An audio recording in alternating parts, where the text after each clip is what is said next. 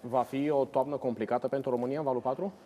Uh, haideți să spunem invers, nu va fi o toamnă ușoară. Deci nu cred că va fi ușoară. Uh, depinde de fiecare dintre noi cum abordăm problema. Eu vă spun că uh, cel mai bun uh, trigger pentru mulți dintre noi ar trebui să fie începutul școlii, pentru că dacă am aplica uh, acest lucru, îmi protejez copilul dacă familia noastră este protejată prin vaccinare, atunci lucrul ăsta se va răsfrânge și școlile nu vor mai deveni un factor de accelerare a transmiterii, ci uh, prin această măsură uh, se va ajunge la o uh, stabilizare și la un regres.